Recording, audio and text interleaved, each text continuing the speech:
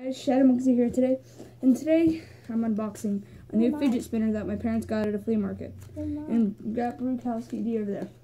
So- Towski D. There's actually two fidget spinners in here. I actually did open this. This is one. This is. Go up close to the camera if you want them to see that. This is the one my cousin made. Out of plexiglass. And then this is, and this is the one that was um, bought at a flea market. It's glow in the dark blue. I just got a really fast spin right there, and I just got it today. It's actually really fast. Mine doesn't go that fast because it's homemade. Here, I'm gonna. And I haven't WD 40 it. I want to turn the light so you got so they can see it. Oh my gosh. One. What? I'll go turn it off. Okay. So, um, it's gonna look kind of blue.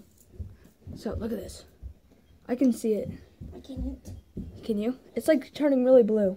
Yeah, I can. Do you hear that? That's mine. Okay, turn it back on. And there you go. Well, I hope you guys enjoyed this video about unboxing my blue fidget spinner And mine. and, his glass one, his fairy glass or It's not plexiglass. glass. Because there was this, my friend, we threw it around in our park at our school. And it didn't break. This is in the basement, so that's why it's a weird background. So we hope you guys enjoyed more fidget spinner videos. I've never been soon. down here. And I will see you guys next time on Shadow Monkey Zero. With me. Goodbye. Fidget spinner reviews, more coming soon, more unboxings. Goodbye.